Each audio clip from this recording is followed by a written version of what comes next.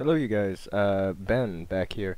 Um, doing the tutorial series again, but this time for the Airbus. Um, for the Aerosoft Airbus. Um, I, I don't own the expansion for the A318, A319, I only own the A320, A321. However, um, most of what I'm showing in this video should be transferable between all the variants, so just keep that in mind that this isn't specific to one particular model. Um, as far as the pre-flight, which is what I'm going to do in this video, similar to my NGX series, part 1 we'll cover the pre-flight planning. Um, as far as this goes, right, uh, there is little that I need to show you that's any different than the NGX, so for that reason I'm very quickly going to skim over it, but I'm not going to go anywhere near as in, as in depth.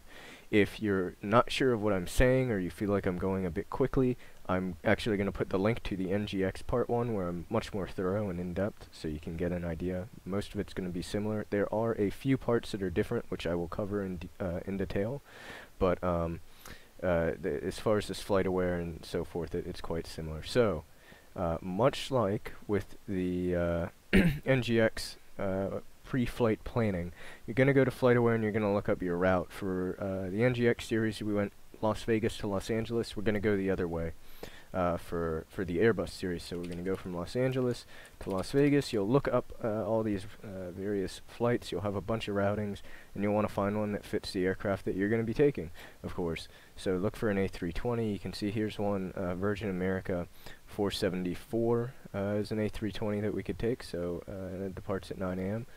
So you'll click that flight, and then as you did with um, with the uh, in the NGX tutorial series, write down whatever information from here that you want. So I'm going to write down the departure gate, which is Terminal 3, uh, Gate 37 Bravo, and I'll write down the arrival gate, which is Terminal 3 Echo 9.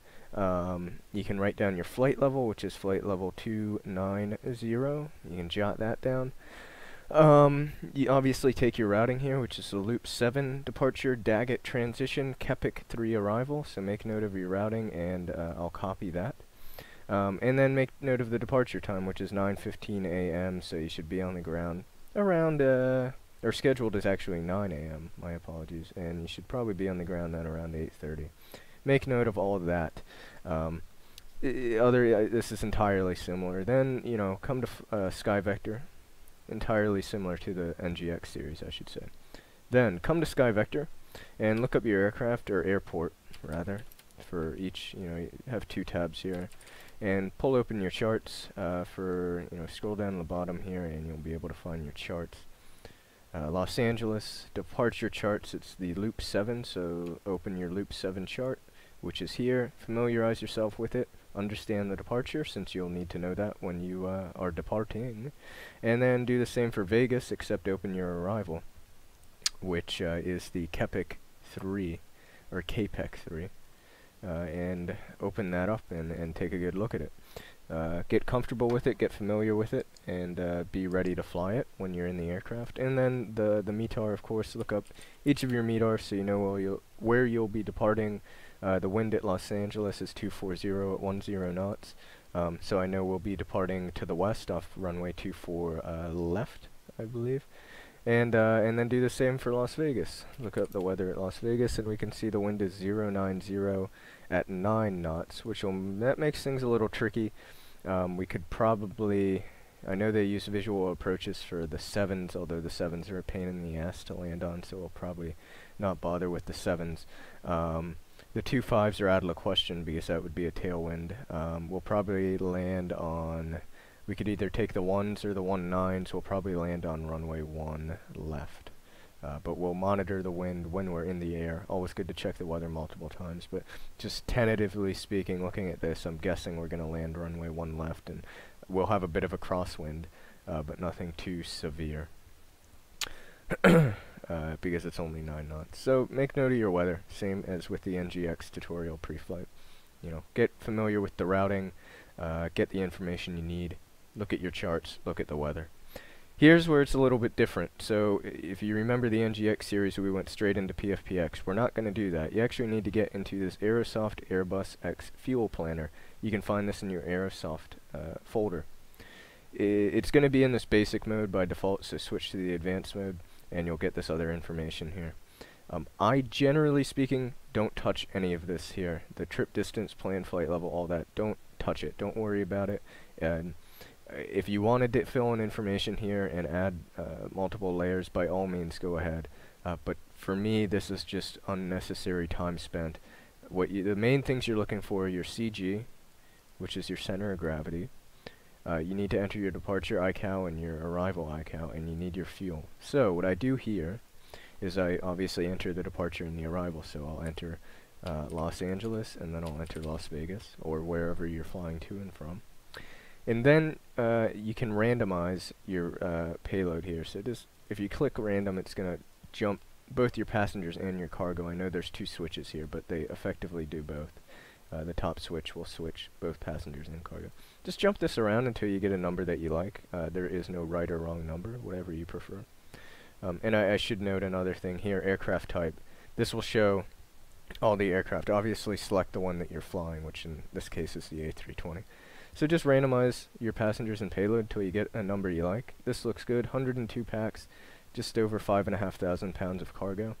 Um, and then adjust your CG here until where it says TWO, takeoff weight, percentage, uh, Mach. This is your center of gravity. This is your balance. Adjust this until that number right here, this percentage, your center of gravity, is green. Uh, you'll see it will turn black there. You don't want that. You want it green. And then take any number that you want. Uh, you can go all the way over here. You can keep it in the middle, but you need that number to be green. Once you have it set where you want, once you have your center of gravity adjusted, write that number down. You're going to need it. So 25%, I'll write that down on my scratch pad. You should do the same. And you now know that your uh, center of gravity is 25%. Leave that. Next, um, you'll see your zero fuel weight here. 115,435, 115,435 pounds. Now, I'll come into PFPX or whatever your flight planning software is, and you can plan the flight exactly as you did with uh, with the NGX. So put in your airline. We were flying Virgin America. Put in the flight number. Uh, it's 474 from Los Angeles to Las Vegas. Takeoff runway will be runway 24 left. Landing runway will be runway 1 left. Uh, put that away. You don't need to touch anything else here. Aircraft, select your aircraft. Again, if you have registrations and tail numbers for each and every aircraft in your sim, great. You're doing better than me.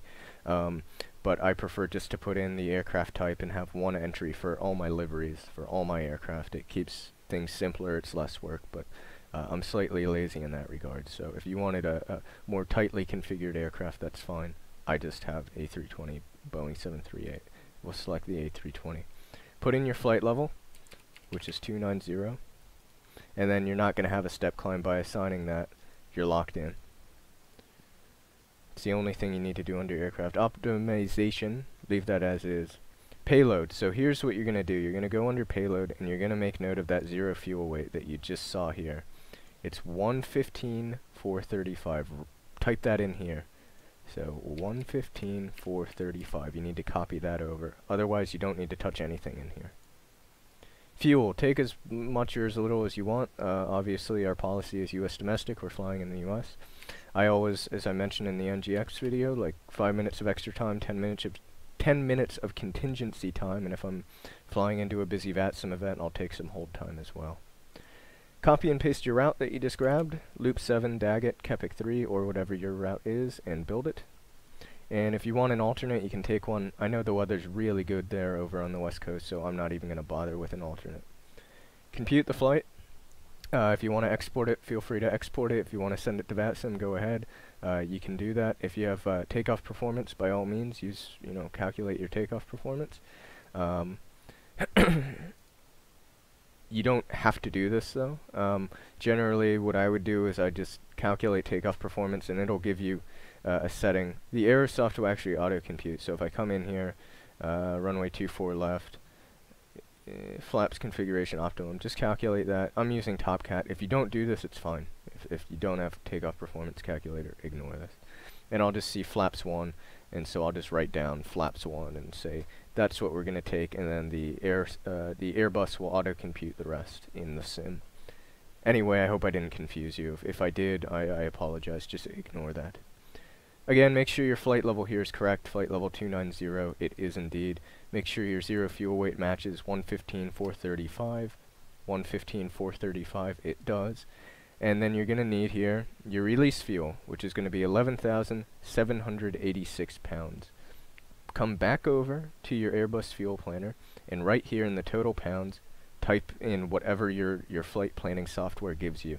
So I'm going to type in 11, 7, 86, 80, not 85, 86, and generate that load sheet. You can click it a couple times just to lock it in. Make sure you have auto load with aircraft checked, and so when you go into the sim, you'll automatically be able to grab that.